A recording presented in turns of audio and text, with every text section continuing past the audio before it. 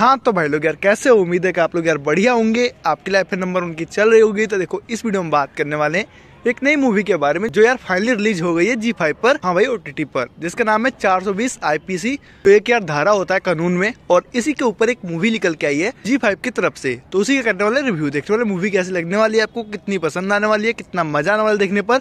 इन सब बातों को अच्छे से डिटेल में बताएँगे, पर इस इंट्रो के बाद।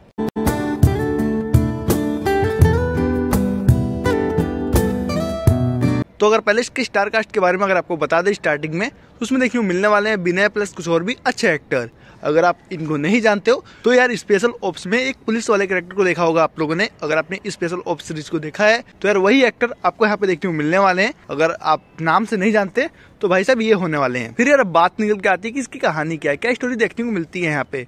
तो यार स्टोरी फोकस करती है एक बंसी नाम के कैरेक्टर के ऊपर, जो एक चार्टेड अकाउंटेंट है मतलब सीए है और जो उसका मालिक है, वो भाई साहब बारह सौ करोड़ का घोटाला कर चुके हैं। और ये भाई साहब अभी उस मामले को सुलझा ही रहे होते हैं, किसी भी तरीके से मैनेज कर रहे होते हैं, पर तभी लाइफ इनके साथ ही ये गेम खेलती है। कुछ ऐसा होता है कि ये खुद फंस जाते हैं। उसके बाद आगे क्या होता है? क्या इन्होंने कुछ गलत काम किया है या नहीं किया है? और आगे इन फ्यूचर इनके साथ क्या होगा? इन सब बातों को जानने के लिए तो आपको देखना मूवी को, जो मिल जाएगी जी फाइव पे। पर हाँ यहाँ से सवाल उठता है, क्या मूवी की स्टोरी अच्छी लगने वाली है, क्या पसंद आने वाली है? क्या जो हम दो घंटे लगाएँगे, वो हमारा अच्छा जाएगा या नहीं जाएगा? स्क्रीन प्ले कैसा है बैकग्राउंड स्कोर कैसा है, इन सब बातों के बारे में।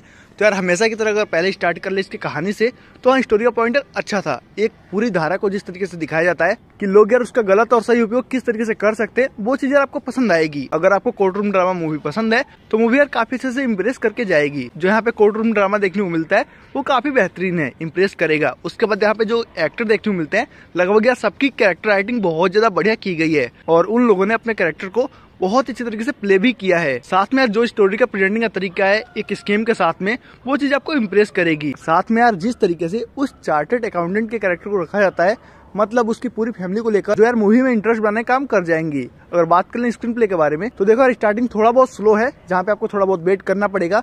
पर मूवी में जब असली गेम चालू होता है और जब कोर्ट रूम ड्रामा देखने को मिलता है तो वो सब चीज़ें काफ़ी बेहतरीन है इम्प्रेस करेंगे आपको और पसंद आएँगे अच्छे तरीके से। स्क्रीन प्ले में जो सस्पेंस और ट्विस्ट है, वो भी यार काफ़ी अच्छे हैं, उलझा के रखेंगे सरप्राइज़ भी करेंगे। साथ में जो प्रोडक्शन क्वालिटी है, वो भी यार काफ़ी बढ़िया है। वहीं अगर बात कर ले बैकग्राउंड स्कोर के बारे में तो यार वो भी पसंद आने वाला है। उसमें भी कुछ खास कमी देखने को मिलेगी नहीं। साथ में अगर कुछ बोलना हो एक्टिंग के बारे में तो यार जो एक्टर देखने को मिले लगभग सभी काम यार काफ़ी अच्छा है। और इसको एक शब्द में ही बोल सकते हैं कि हाँ बहुत ही अच्छी तरीके से उन्होंने एक्टिंग किया है। अपने करेक्टर को बहुत अच्छी तरीके से प्ले किया है। तो अगर फाइनल बात करना हो इस मूवी के बारे में तो यार मेरे हिसाब से मूवी यार अच्छी है। अगर आपको कोर्ट रूम ड्रामा मूवी पसंद है और इस टाइप की मूवी देखना पसंद करते हैं, अगर आप 420 धारा को अच्छी तरीके से जानना चाहते हैं, तब भी यार मूवी को जाकर देख सकते हैं। मेरे हिसाब से मूवी आपको पसंद आएगी और इम्प्रेस करेगी। तो यार मिस मत करना, जाओ देखो एंजॉय करो। बाकी अगर वीडियो अच्छा लगे तो वीडियो को लाइक कर देना। सपोर्ट करने के लिए यार चैनल को सब्सक्राइब कर लेना। और अगर कुछ बोलना हो तो कमेंट यार खाली पड़ा है, जाके बता डालो। फिर मिलते हैं आपसे अगली वीडियो में।